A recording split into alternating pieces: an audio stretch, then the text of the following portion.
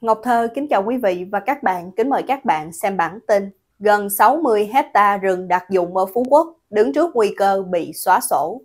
Ngày 14 tháng 11, AFA Tiếng Việt cho hay, Kiên Giang chuyển gần 60 hecta rừng đặc dụng ở Phú Quốc làm khu du lịch đang bị dân phản đối. Theo đó, Hội đồng Nhân dân tỉnh Kiên Giang vào ngày 14 tháng 11 thông qua nghị quyết cho phép chuyển mục đích sử dụng gần 57,72 hecta rừng đặc dụng ở Phú Quốc sang cho dự án khu du lịch sinh thái và dân cư Rạch Tràm, vốn bị dân địa phương phản đối vì giá đền bù rẻ. Hình ảnh bài trên AFA.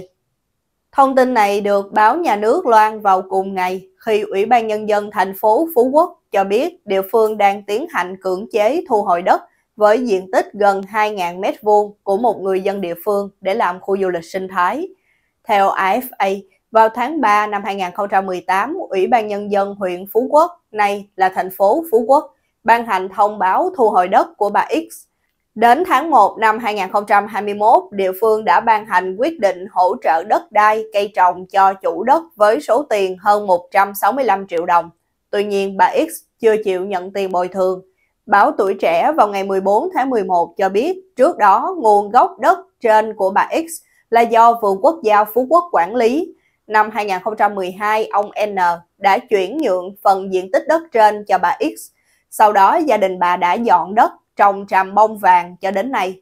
AFA cũng cho hay dự án khu du lịch sinh thái và dân cư Rạch Tràm thuộc ấp Rạch Tràm có diện tích 173,53 hecta được Ủy ban Nhân dân tỉnh Kiên Giang vào năm 2015 giao cho tập đoàn Cityland đầu tư xây dựng. Báo nhà nước trong các năm qua đã đưa tin cho biết nhiều người dân địa phương bị thu hồi đất cho dự án đã bức xúc và khiếu nại yêu cầu làm rõ. Người dân không đồng ý giá đền bù quá thấp, không giúp họ tái tạo cuộc sống mới, trong khi hàng triệu mét vuông đất giao cho tư nhân không qua đấu giá, diện tích đất khủng được giao liên tục tăng đáng ngờ.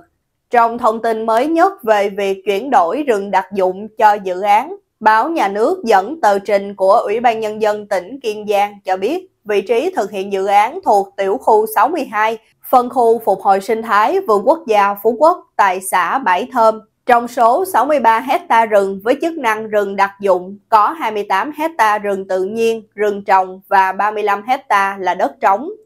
Vẫn theo AFA, vào năm 2019, chủ đầu tư dự án đã hoàn thành việc tận thu gỗ và nộp tiền theo quy định. Ngoài ra, chủ đầu tư cũng nộp tiền để thực hiện dự án trồng rừng thay thế. Tháng 8 vừa qua, diện tích rừng này được đưa ra khỏi quy hoạch lâm nghiệp quốc gia thời kỳ 2021-2030. Theo đánh giá của tỉnh, chủ dự án đã thực hiện xong các bước theo quy định của Luật Bảo vệ và Phát triển rừng năm 2004. Hình ảnh khu vực rừng sẽ chuyển mục đích làm khu du lịch sinh thái ở Phú Quốc. AFA nhắc lại hồi năm 2022, Báo trong nước cũng có những bài viết liên quan đến việc thu hồi đất để làm dự án du lịch ở Phú Quốc và cho biết kiểm toán nhà nước từng có báo cáo khẳng định đất quy hoạch dự án trên là đất kinh doanh, dịch vụ.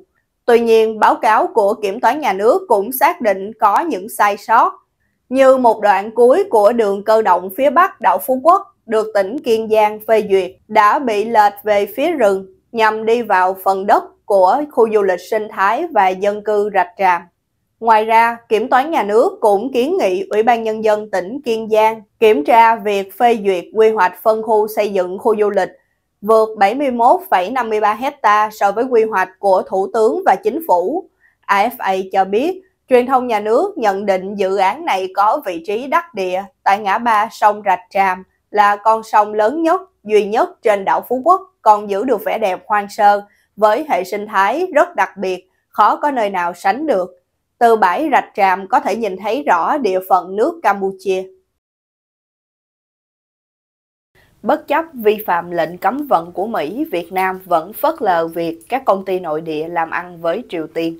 Ngày 13 tháng 11, AFA Tiếng Việt đăng bài bình luận Việt Nam tìm kiếm lợi ích gì khi duy trì làm ăn với Bắc Hàn.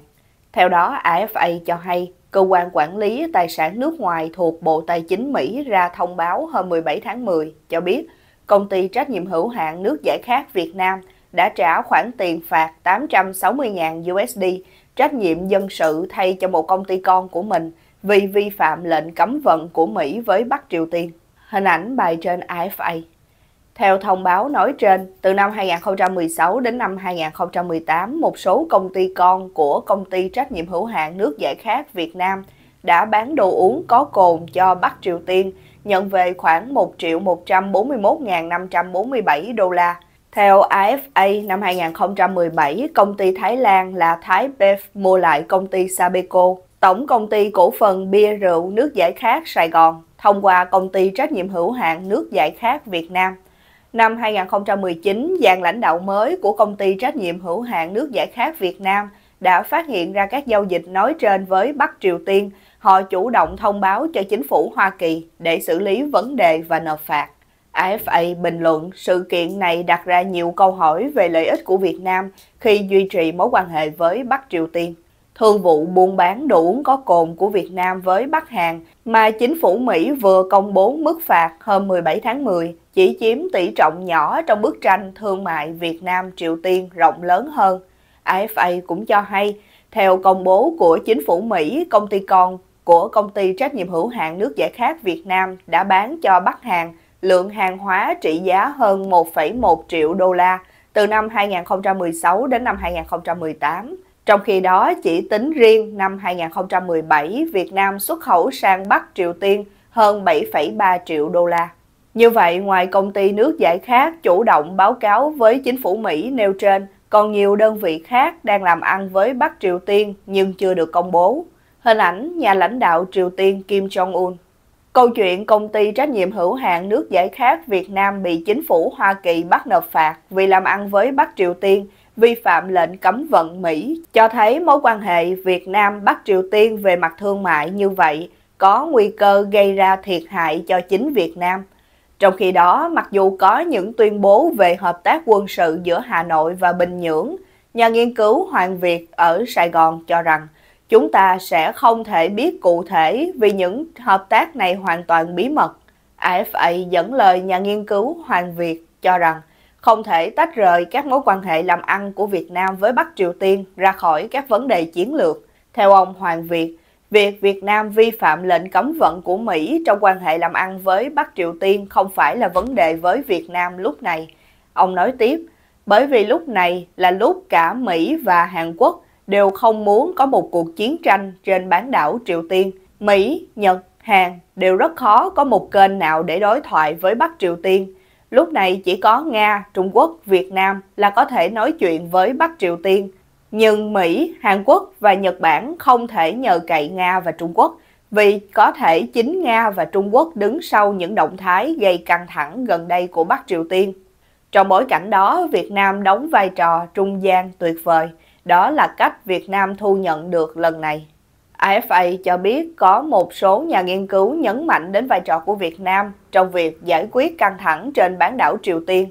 Tuy nhiên, AFA cũng dẫn lời ông Vũ Xuân Khang từ Đại học Boston College, nhận định theo một góc nhìn khác.